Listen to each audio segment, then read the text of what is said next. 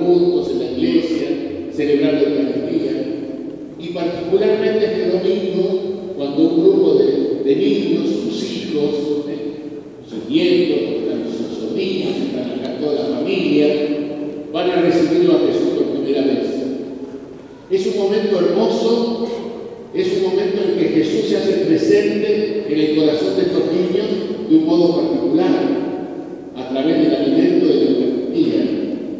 Ese de la comunión que nosotros estamos invitados a recibirlo también siempre, particularmente los domingos, donde celebramos la misa, donde los católicos los domingos estamos convocados, llamados a participar de la Eucaristía para alimentar nuestra fe, nuestra esperanza y nuestra caridad. Por eso es un hermoso momento que despierta en nosotros lo mejor. La comunión saca de nosotros lo mejor que tenemos, porque ustedes han venido emocionados, los ven con sus trajes, con sus túnicas, los ven como unos artistas, y saca lo mejor que tenemos adentro, nos emociona eso nos sentimos bien, nos sentimos en paz. Es decir, la comunión de los niños hace salir de nosotros cosas buenas, sentimientos buenos.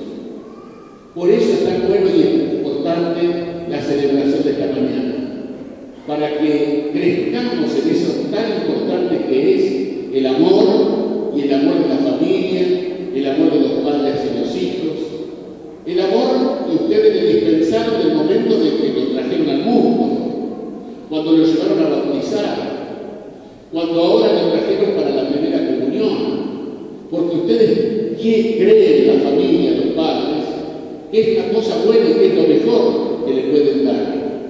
Y por eso lo hicieron, y lo acompañaron y lo seguirán acompañando el año que viene, en la confirmación y después del resto de la vida.